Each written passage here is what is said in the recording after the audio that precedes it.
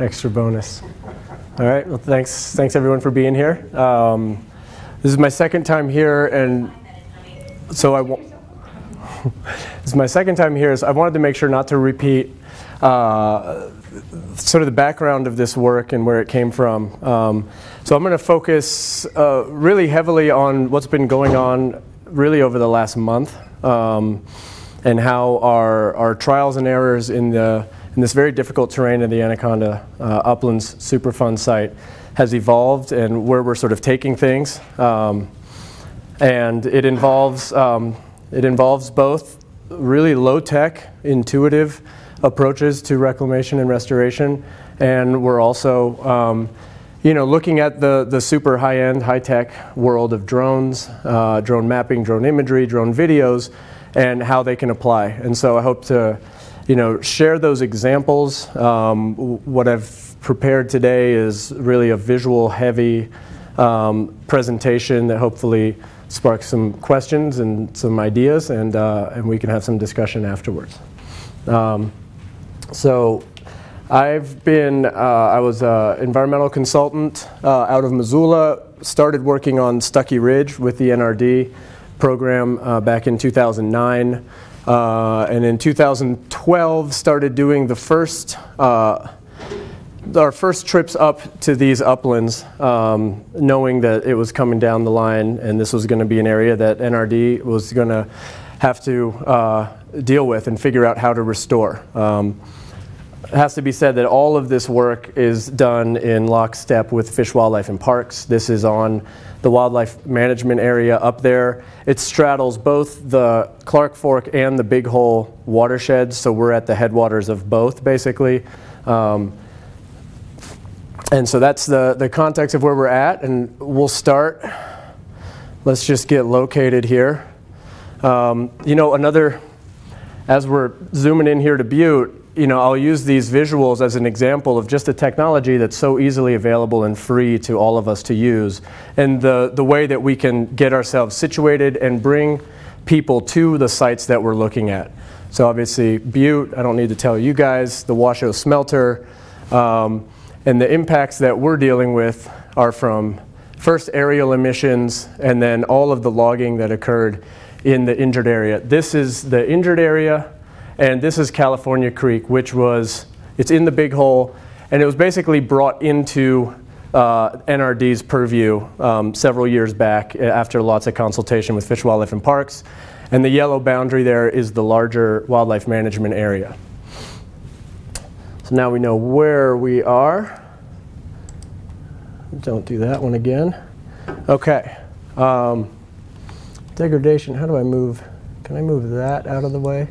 Just click that? No, no, I think you just slide, you have to slide it like up to the top corner, say, just grab. Oh, there it is. Cool, thank you. Um, so uh, in this area generally, um, you know, there was small scale mining and there was placer mining in the big hole starting in 1886. Um, but really the, the, with the advent of the smelter stack and the pit in Butte, obviously, um, I put in small scale mining because there was some exploratory mining that left some impacts in the uplands, but really it's, it's the stuff that we know about. Um, the large scale copper extraction and smelting in Anaconda. Um, you know, the tails up here, you guys have probably heard all of the, the statistics, but what's interesting to us is, you know, up to 59 pounds um, of metals, you know, literally coming out of the air um, from the smokestack and landing on the hills. Um, the sulfur dioxide kills a lot of the vegetation. Um, but really, the impacts that we see more than anything, um, so those metals are still in the uplands um, in different places. But the impacts structurally to the landscape really came from the intensive logging. Um, one of the first logging sales, the McClune sale, was 300,000 cords of wood. It's difficult to wrap your mind around um, the size and, and, scale of the operations up there. Uh, first to fuel the smelters, you know, until the smelters switched over to coal, and then really just all the wood needed for all the mining infrastructure for years. Um, here's a picture of the log flume um, network. It was 18 miles. They diverted American Creek and created this vast network 18 miles long to get all the logs basically to the Continental Divide, up and over, and then down uh, into Anaconda and Butte. Um, there were trams, hoists. Um, they brought them down in the winter with horseback. Um, and at the end of a long workday, if you were around in about 1910, you were probably hopping a ride on one of those logs and floating yourself down the hill to get home. Um, you know, the impacts can't be understated here. They really took every single stick. Um, and I've recently, Fish, Wildlife, and Parks uh, recently gave me a report that John Lazinski made. Um, he put together, he basically retraced the entire uh, flume network and it's given us a much better picture of the gullies and the erosion that we're seeing up there is directly related to the transportation corridors that were involved with getting logs either uphill or downhill to this flume. Um, Pedro, yes. you know, just in these slides, I there's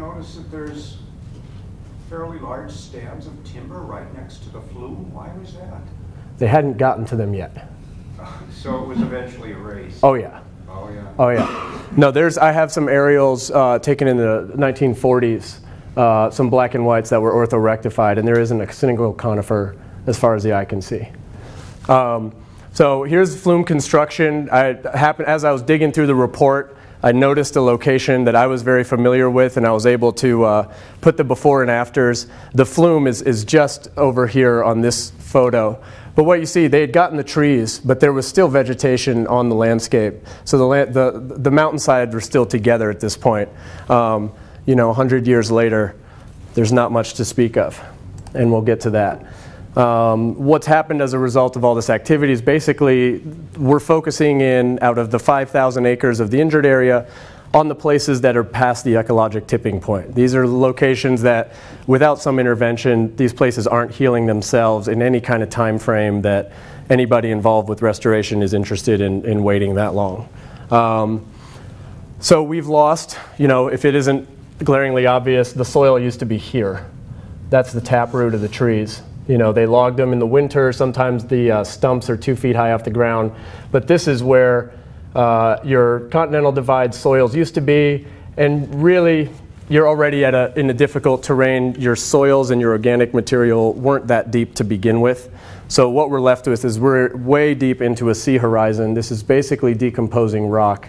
Um, and it's this volcanic welded tuff um, that is particularly problematic. Um, soil studies and, and, have been done all over the area, and pHs are reasonable um, between 5 and 6.8. You know, your pine forest soil pH of 5.5 can grow vegetation. So we figured out pretty quickly that pH and toxicity is not really one of the limiting factors keeping the vegetation from coming back in these areas. Um, it's really a lot of physical factors. Um, seed sources are few and far between. You really have extreme conditions up there. It's super hot in the summer. It's freezing cold in the winter. The wind blows all the time. Um, so you have very low decomposition rates, um, creation of organic matter, and those types of things that you would find in a more wet environment.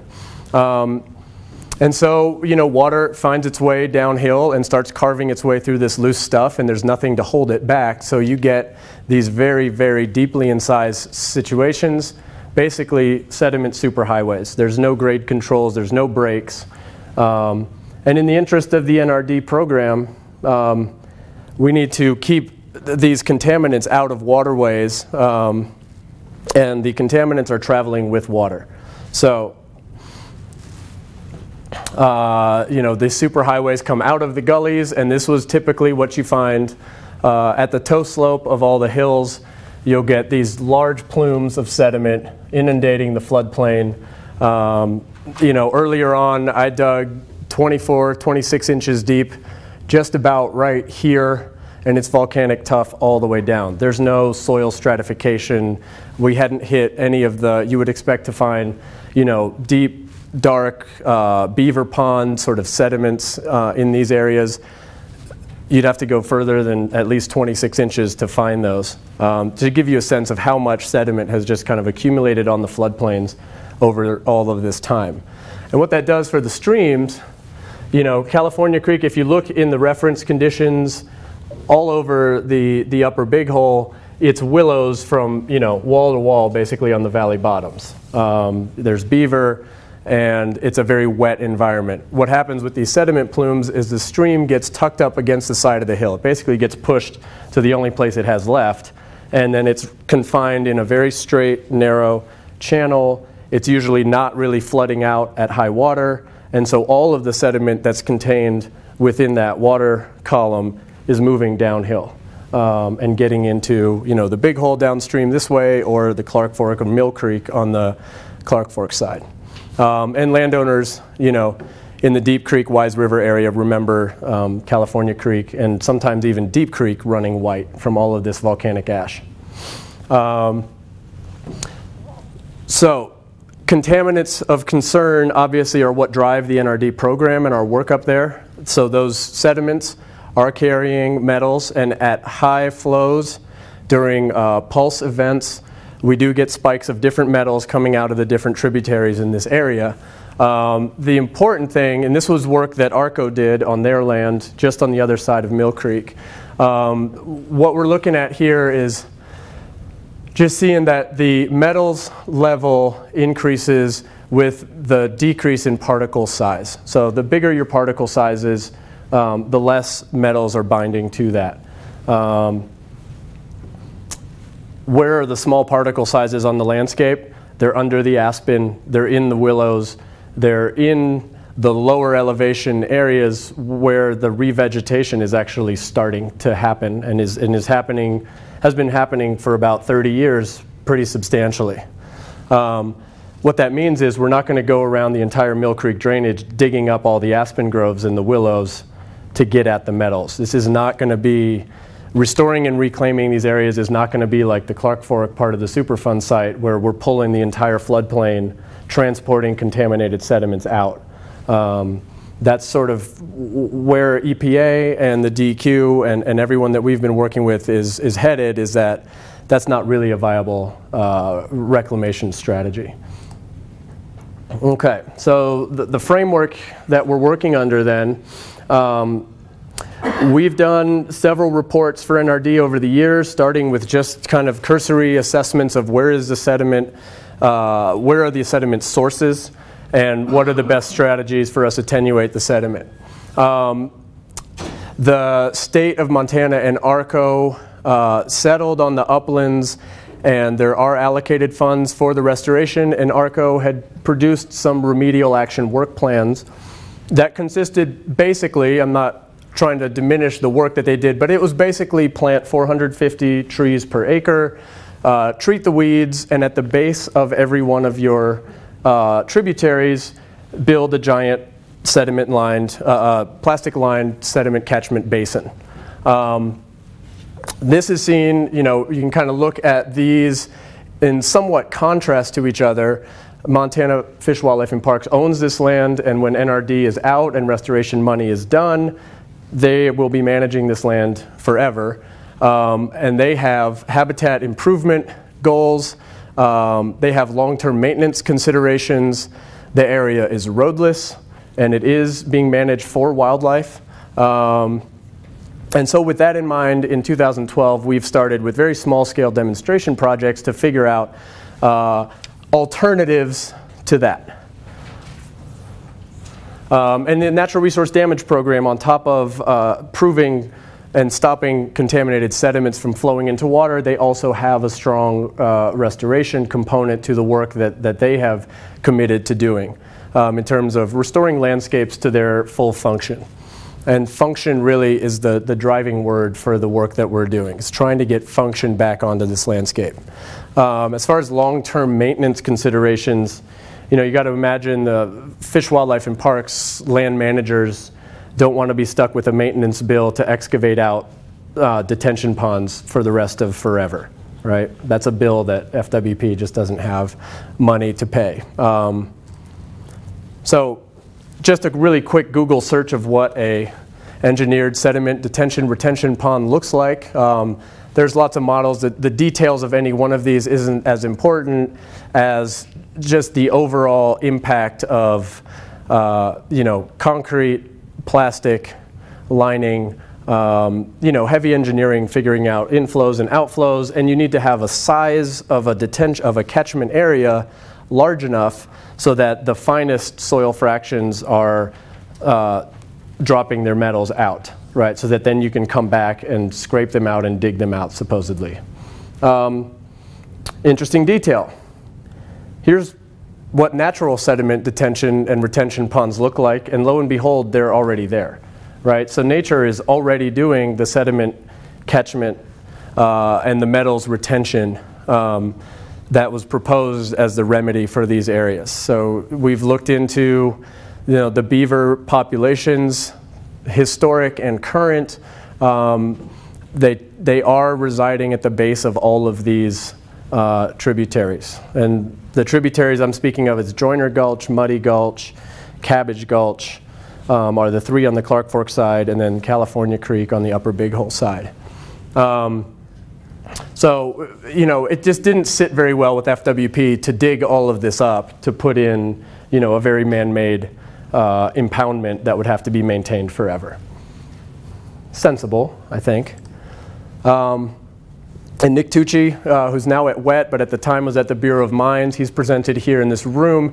He did a quick study at Cabbage Gulch uh, that actually showed that the beaver ponds, the, the metals attenuation from beaver ponds, they were actually fairly effective um, at retaining um, and removing metals from the system. Basically, the willows and the riparian vegetation is uptaking those metals. Um, so you know, we don't, we don't destroy the metals, we just put them in a different form is all we can do.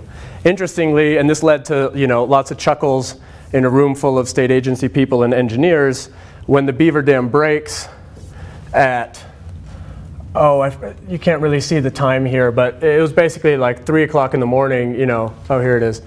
You know, the beaver dam breaks and the hydrograph, you know, spikes up, but the beaver's on it at 5.15 in the morning. He fixes the plug and we're back to normal hydrograph.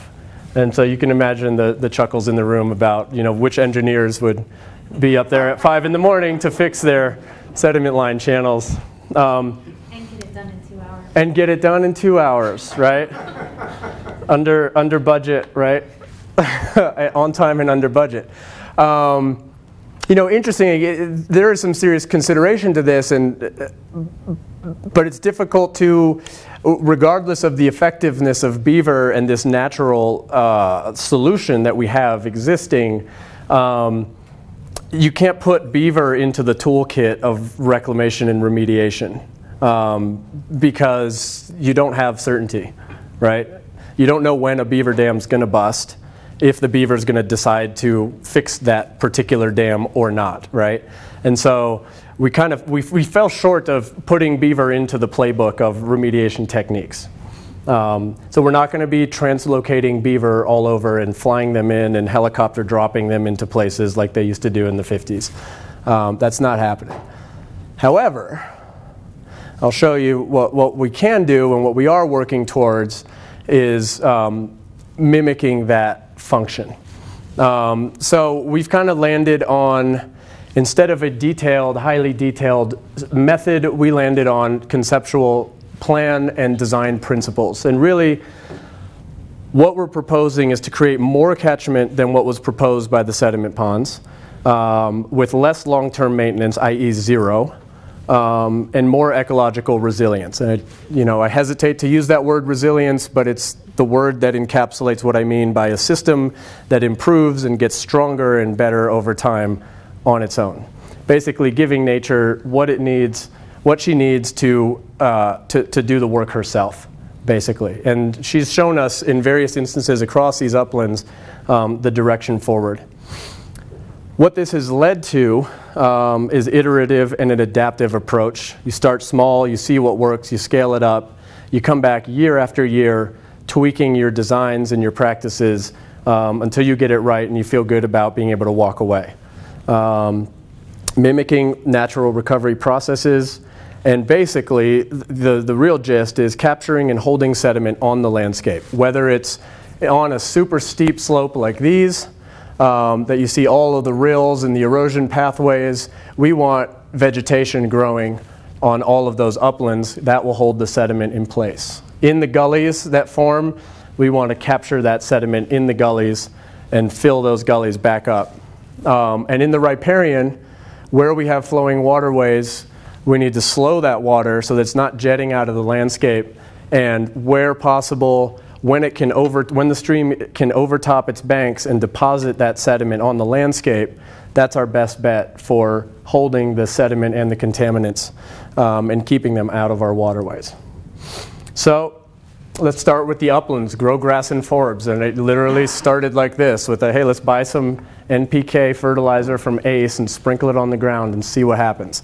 And lo and behold, is an instant response, which told us this isn't, a, this isn't toxic. It looks horrible, but it's not toxic.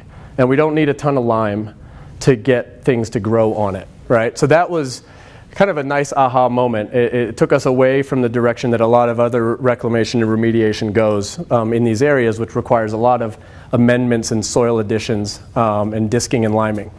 So from that, we said, okay, well, what about organic fertilizer?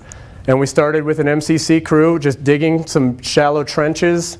And we threw different experiments in. We threw compost in some and really landed on an organic fertilizer uh, products. Um, there were a couple that we tried. One was called Biosol, um, and the other one is Sustain. Sustain is the one that we've landed on. Um, and it is basically a byproduct of turkey processing. It's like all the stuff that's not in your Thanksgiving turkey ground up and pelletized. Um, and we saw some great results. I mean, this, is, this was like a nuclear amount of organic fertilizer. This was the second year. The first year, we actually, it was too hot, nothing really grew. But then the second year, after it had attenuated a little bit, it was like, wow, we have knee high grass in a place that hasn't seen much vegetation in 100 years. So that gave us some good ideas about the path forward. Um, we then did a three and a half acre demonstration. So the grass that's in the background here, this was a result of about a three and a half acre uh, project, and this was just two weeks ago, uh, or three weeks ago now, rolling out new mats and extending um, our upland treatments. Um, you know, and that's our that's the that's the photo that really kind of sold it for everybody. The big thing to notice, these plants, all the vegetation that was growing up there, it's all rhizomatous. It's all growing from underground um, because it's so hard, it's so harsh for a small seed to stick on the ground, find a spot to germinate and grow. So all of the revegetation that was happening is coming from underground growth. As soon as we threw 2,000 pounds of that Sustain stuff per acre on the ground, we went up there that first July and it was a deafening sound of pollinators up there. There were so many flowers on all of the forbs and the grasses. And, you know, so that, you know, the FWP, uh, Vanna Boccadori, we walked up there and she said, this is, this is done. I mean, this is uh, self-perpetuating vegetative community that's getting to the flowering stage, attracting pollinators, dropping seed, and has all the indications that it's going to um, keep going. Pedro, you say rhizomatous, so I'm assuming grasses. Grasses, yeah, for the most part. Some forbs What were the grasses? that are up there. Yeah. The main one is Agrostis stolonifera, red top. It's the one that's everywhere. Yeah, that's the main one. There's some there's some uh, wheat grasses, you know. Um, yeah, the blue bunch was up there. Um, you know, and, and to be honest, there's a lot of room for more species level study of, of what's up there and what's working. I don't have time for that. Sure. And the pollinators were working on what flowering plants? On a lot of the forbs that were popping up. Um, so you have Phacelia, you have your goldenrod, um, fireweeds, you've got lupin, and some. These were all they're they were all there. These are not in my seed mix. Really? The seed bank is been On their own? the seed bank is there. All we did was give give the plants the juice that they needed to get to get going. Yeah, it was it was kind of mind blowing to be up there. Yeah. Um, so now enter, you know, enter some of the drone technology. We got into some of this stuff early. Um, Mostly we used it early on just for pretty pictures and just another way. Basically, the drones answer that question when is Google going to update the satellite image for my location, right? And the answer is whenever Google feels like it. Um, by getting a drone and flying the imagery, you have a file that you can drop right into Google Earth and you can answer your own question. Um, so it was neat to see, you know, that's the Google Earth image. Then we flew our fl- first flight right after installation, and then the next, uh, and then two springs later um, to see the amount of veg growth. We kind of ended at that with this particular um, drone operation, and I'll get more into what we're doing now. Um, now we've, we've, we're working now with WET, um, who are getting pretty sophisticated with this stuff, and they're, they've flown now all of our upland areas and all our places prior to treatment. And what they're able, what they're doing is a couple things. First, we have our ortho imagery, right? This is just RGB color spectrum, so you can see what's growing, what's bare, what's not. And in GIS, we can fairly quickly process that data and get a vegetation map and get estimates of how much bare ground do you have now. Um, the other thing they're doing is they're flying it, flying a near infrared camera, and what that's doing is bouncing back the actual color spectrum from each vegetation community. Um, and from the near infrared, they can start teasing out the different types of vegetation, um, which is really going to get us to a much more accurate uh, estimates of vegetation communities after we do the work that we're going to be that, that we're doing. Um, and you know, this is really this is preliminary stuff, but uh, the, we're breaking down the veg maps that did exist from NRD. I made one in 2012, but now we're going to be able to get to a much higher level of resolution. Um, and, and basically long-term project monitoring. It's such a large area that the idea of going out there and running transects, you know, in various locations across 5,000 acres for the next 10 years to be able to tell anybody anything with enough repetition and confidence is pretty daunting. As much as I like to walk around the hills up there, you know, that's a little too much for anyone to stomach. So having this baseline information and being able to fly these, these flights and they fly the exact same flight path so you can get the exact same image year after year or a couple years at a time. Um, we'll be able to really show, you know, what places still need work and, and where are we good? Where can we walk away and, and call some areas done? So that's been pretty exciting. Okay, let's move to the gullies. Um, capture sediment. And if you're in a place where you don't have a road, so you can't really haul things there, um, what you got is what's around you. And for years, we did about as good as I think anyone can do with it's kind of like looking around and rearranging everything on the landscape to fit your needs. So you got rock, if you're in a place that's got rocks, stack them up, build the check dam. Um, and lo and behold, you know, they work. And all of a sudden, seeds got somewhere to start, right? And the vegetation starts bouncing back in these pockets of stability um, which before did, did not exist. Every one of those gullies, like I described before, any water that hits that sediment is just going straight downstream. Um, so we started with some pretty crude hey, what happens if we just huck trees into the bottom of the gully? Um, it started with willy nilly, just sort of throwing material down, and then we actually got into constructing, building structures. Um, and we had some pretty phenomenal results with that as well. Um, just to point out, so we did this in like 2013. We just we didn't want to take all of the conifers, but we took a lot of them. Um, detail about that, we're not like tree killers, but because we're also managing this area for wildlife, um, you know, conifers are considered in a lot of these landscapes, they're actually encroaching on some of the aspen communities and sort of the grasslands that really FWP is managing this place for elk habitat and things like that. There's plenty of uh, dense forest for hiding cover for the elk, but the more we can make uh, aspen uh, and grasslands and forb communities, that sort of fits with the management objectives for the area. Um, we experimented with you know, grabbing a bunch of pine slash and with duckbill anchors, actually anchoring these uh, slash filters along the sides of the slopes.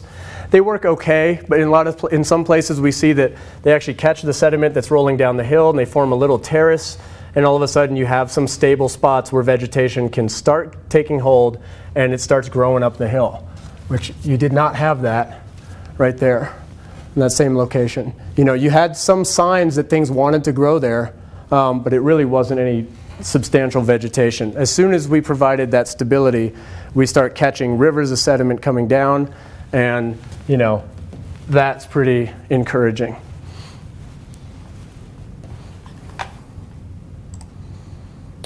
And then in the riparian area, um, in the absence of the strategy with the beaver, um, you know, it's people acting like beaver. So this is pretty much, this is about high water in California Creek when we started. Um, it's just pretty simple. Again, we use our conifer material, put some stakes in the ground, weave that slash in there. Um, it's just as much fine material that you can get in there. All of that slows the water down, um, catches sediment and builds it up. And then the next year or two years later, you come back and you build your next dam on the captured sediment. And slowly, we've built the floodplain up. I mean, that floodplain elevation is pretty much where we're at right here now. With this is the second generation um, of beaver mimicry structures on California Creek. And this is us uh, just about a month ago putting in the third generation. Um, so the idea is pretty soon, I think after this iteration, we'll actually have water coming out onto this floodplain. And look at this. Look at that thick grass and sedge. You can see how when you slow the water here, it's oozing out into the floodplain laterally. And you're seeing the vegetation communities respond and change here. Um, and you can see it all along the fringe of, of where the water is holding. So the bigger we build this up, you know, that water is going to start spreading further and further out. And the sediments that are in that will also drop. Grasses will grow on top of it. And it's basically like capping contaminated sediments. We're just doing it on the landscape. Um, again, the use of you know drone drone photography is really helpful. Um, it's fun to do, but really it's it's more to to convey what's going on and get people to, to, to get where you are and what you're doing and to see things that you couldn't see from the ground level, kind of picking out that the different colors and hues of vegetation growing. And just to point out, you know, that's that's baseline. That's where, how we started. The whole creek channel looked like this. Um, the channel does run dry. It has run dry ever since I've been up there. By September, it's running dry in places. Um, you know, let's. I'll keep coming back to Robert's lecture series. Hopefully, one day that stream turns perennial if we've kind of backed up and stored enough water throughout this system. We have 400 structures in this North Fork of California Creek. Um, and just to give you a sense, too, um, just to kind of emphasize the bare hands part of restoration, when we were getting really good at this, we had a crew could put in 75 of those structures in a day. Um, and these, the crew that was down there, those are grad students of mine from University of Montana. Um, that was their first time doing that. And in two hours, we did the work that you see there. I mean, as far as the, the slash was already cut for us and it was still laying there, but it's quick. Um, the other thing I really like about doing these structures is anybody can do it, and it is it can involve a range of people of a range of skill levels and experience. Um, and it's, it's a great way to just kind of get outside, feel like you're doing something positive. Um, it's a great way to get community involved in restoration as well. Um, so in my earlier, you know, cruder survey drone days, um, I was like, okay, what can we do with this imagery? It's super high resolution. One of the things that I just started basically doing is what's the wetted width of the channel when I started in the red line? And now take an image at high water. What's the wetted width of the channel at high water? Um, you know, in another year after the structure has sort of spread the water out, and we were able to do some, you know, back of the envelope calculations on, how much wider our, our riparian width is getting. And to some funders, that was kind of an important data set. So that doesn't require a whole lot of stealth and uh, sophistication. Um, I did it, so that gives you a sense how sophisticated you have to be. Not very.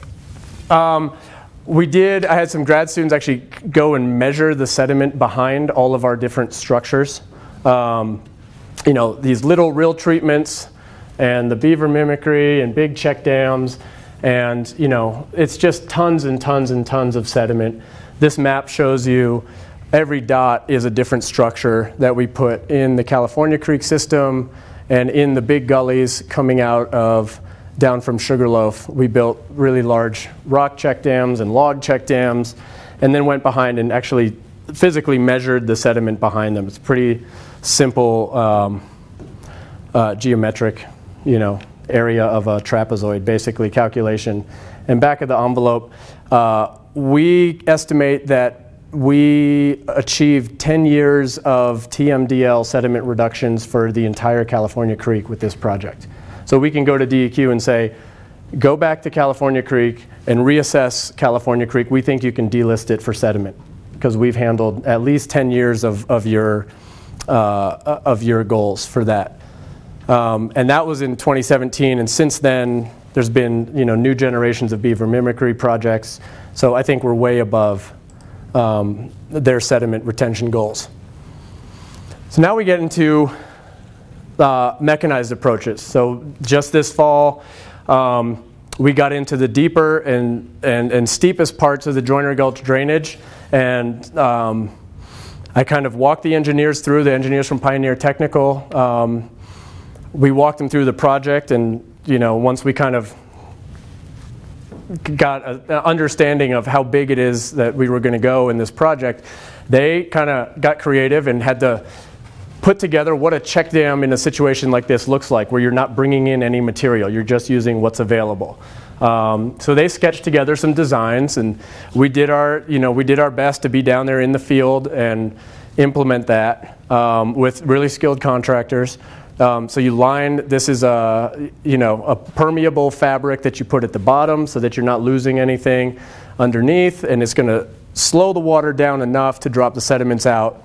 And then you fill the whole back thing back up with earth, big a, build a big mound. Um, and that went pretty well, but it, it was slow. It takes a while to roll this big length of fabric out and have people on the ground waiting for the, you know, the operators waiting on them. So he is not happy because he's not in there with that machine running. And if you know machine operators, if their machine's not running, they're not happy. Um, an interesting thing happened. We got the wrong coir uh, coconut husk material delivered to us. It had plastic on it. We were going to do more of that, uh, those band aids up on the upland slopes. Um, I didn't want to do that and leave plastic up on the mountain. So what do you do? I've got 60 of these coir rolls. I pretty much have to bury them. We came up with a, this is an off the cuff kind of back of the envelope little drawing of putting those coir logs in as little slope breaks on the downslope of these check dams. And we filled those up with dirt um, and it worked great.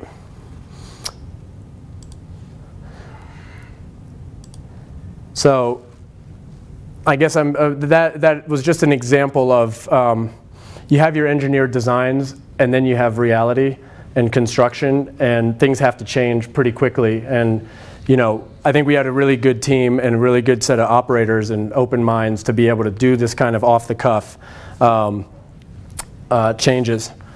So we were supposed to do one two three four big check dams in this system per the plan one thing we did that may have been the smartest thing that we did for this whole project, we were struggling with how to uh, verify that the work we said was going to get done would get done, right? Usually in construction, you're measuring how many yards did they move, right? How many tons got hauled.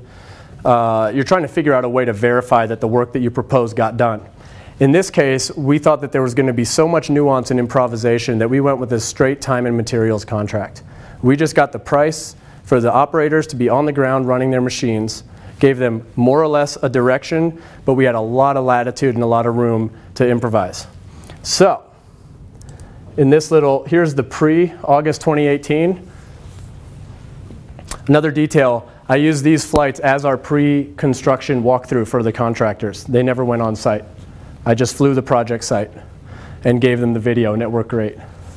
Um, so, you know, we were supposed to be putting in, these are 25 feet top to bottom, at least, 25 to 30 feet. That's kind of what it looked like before we started. Instead, Denny the dozer guy, who has 40,000 hours of dozer operation, we realized that he really knew his stuff. And so here's, you know, an example of one of the check dams. But instead of building more check dams, we just grabbed the side of the mountain and filled it in. And so now instead of having Willow perched 25 feet above a gully that'll never see water, they're right there. And look at these seeps coming out of the aspen and the willow groves. You got water right there. What do you think is going to happen to that?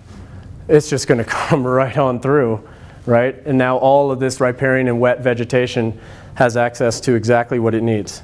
And you can see that we're using the pine as slash uh, and, and basically to filter and stop the sediment as it falls. And then on the side slopes, he just came in and dug some dozer pits basically stopping any sediment that's going to roll off sideways. These are, you know, three or four feet deep, each one of them. And here we've already starting to collect water at the driest time of the year. I mean, it had just rained, obviously, but uh, these seeps are slowly coming out. And then we tie right back into the original channel right here where we had built some beaver mimicry structures earlier. Um, you know, you couldn't really do that without a gigantic change order on a normal construction project. Um, Again, here's another improvised. You had our check dam improvisation. We were like, hey, I've got these coir rolls that I need to burn. I need to bury these things somewhere. So, uh, Pioneer, back of the envelope, you know, late night, just chicken scratch this design in. Next day, we're out there doing it. So he said, well, you know what? Just grab those logs, stick them in vertical inside the check dam, and we'll fill them in. So they use those, so 20 feet across where the channel is going to go. Basically, there's eight feet or eight feet tall coir logs.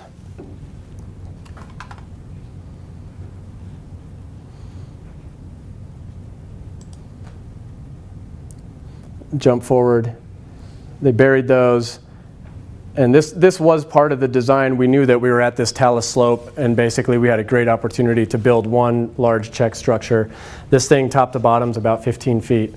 Um, and with the fabric and the coir logs inside of there, that's just going to create a pretty big reservoir um, and is uh, a big step in our direction towards creating equal or better catchment um, than a sediment lined pond at the base of the project in a beaver meadow, right? Um, here's another concept that I had of, of, kind of a spreader dike, is what we call them, to basically take water that's moving uh, on the floodplain after we've spilled the water over and kind of capture it. Um, and this is kind of what that looks like. This is still a work in progress, but we so all of the water coming out of West Joyner is going to overflow and it's going to come down into the floodplain, and we wanted to take advantage of it and capture it. So we dug a trench. This is basically even grade all the way across the floodplain. Put a little bit of plastic in it, fill it with slash, um, and cover it back over. And so that's going to really spread out our spread the water out and retain the sediment on the landscape. Um, okay let me jump back and now let me, so that's construction stuff. Then I just want to wrap up with a couple examples of using the, the survey drone technology. Um, this is lower down on, on Lower French Creek. Um, we, Morrison Maierle is down there doing our pre-design. Um, and what they did is they flew their drone and had that imagery available as they're out there doing their survey and their wetland delineation. And one of the things that the delineator said is, um, you know, basically what she's saying is she walked this yellow line, um, but then when she saw the drone imagery, it basically the she could tell just from the color differential of the vegetation that she walked exactly as a del- professional delineator. She could have just looked at the map almost and done her job. Right, and in fact, what I got when I, I asked uh, Morrison Maierle, my engineer Matt, um, they were supposed to do two projects for us. They had booked themselves for four days to do survey and wetland delineation. A day and a half later, they went home um, because of the efficiency they got out of having their really super high resolution imagery available to them on site. They didn't have to walk every single vegetation polygon because they did enough ground truthing of, okay, this color right here is this type of vegetation. So they didn't have to do, they didn't have to do the, the you know, really tedious work of walking every single little polygon. Um, so super time saver um, having this imagery available. And we're just, I think, kind of scratching the surface of what's possible. Uh, working with WET on another project on the, in the Highland Mountains. Um, there, we have an interest in natural water storage. Um, and so we're doing, we're putting piezometers across the floodplain just to see, we're going to plug up these old, there were old beaver dams here, we're going to plug them back up and see what that does for us for water. But just to give you a sense, this is the topo layer that they got from their drone imagery. Um, you know, the drone is, is bouncing off the first thing it touches, whether it's grass or a plant. But if you have ground control points, you can basically take all of that survey data and uh, match it to your ground control points. And you can basically get a surface model elevation. Um, for lots of purposes, it's very functional, and you don't have to do a full blown survey. Um, you only have to get a couple points throughout your project. So, again, super time saver. Um, we're just, you know, the engineers, these guys are, are far further ahead on this technology. Um, and I'm, I'm, just trying to understand how best to incorporate these technologies to reduce costs, increase efficiency, and get more work done.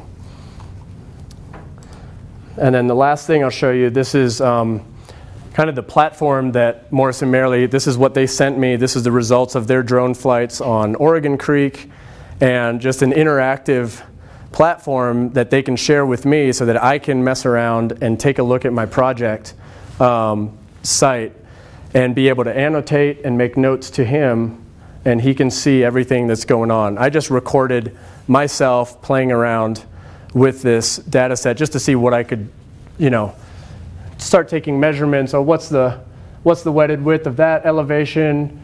So that's the elevation model coming in and out. And then they generate a 3D model out of their survey flight, which is the first time I've seen that. And I think that is super, super cool. Um, now, super cool and functional practical are not the same thing. But from, uh, from where I sit at the committee, as far as you know, public outreach, talking about what you're doing, taking people places without physically taking them there, this is pretty neat. Um, and I thought it was a great, it was worth highlighting that, that this is the direction that things are going. You know, you put your elevation models up and down. Um, and I was just getting into the detail, all of those little lines, those are all moose tracks. I mean, you could literally follow a moose track in there. Look, it is so detailed. Those are moose tracks. What's that? Now, the, the yeah, I know I'm, I'm look, we're, we're looking for paddles and stuff out there, but yeah, the grass is so thick you almost have to just like step on one to find it. But I tried. um, anyway, I thought I'd highlight that. So just as far as initial findings, stuff that it, it's has struck me very recently that I wanted to show. Um, as far as the bare hands stuff, if you can use what you got on site, you can greatly reduce the amount of uh, costs of your project. Um, these costs, in the context of our work with the Superfund, um, means that we can take a longer term and more iterative approach to our projects um, instead of feeling like we've got to put all our eggs into one construction basket one year, do everything we can, and then the money dries up and we got to walk away, right? Um, another thing I've learned young people want to work with their hands.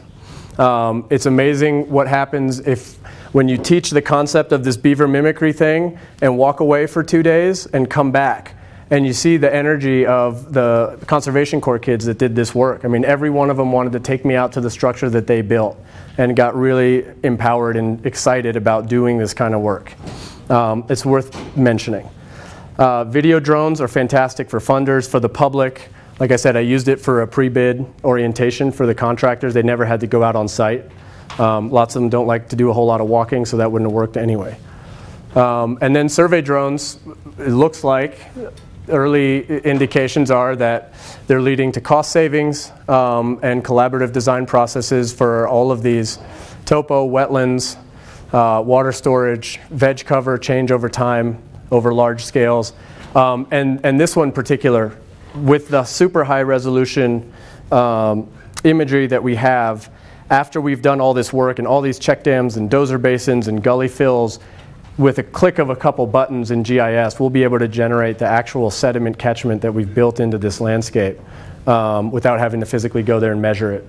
And you know, I think that over the, the scale of the project that we're doing and the sort of thousand points of light idea, um, thousands of little places where sediment's going to stop, it's going to vastly outweigh what any one single detention basin would have done in this landscape.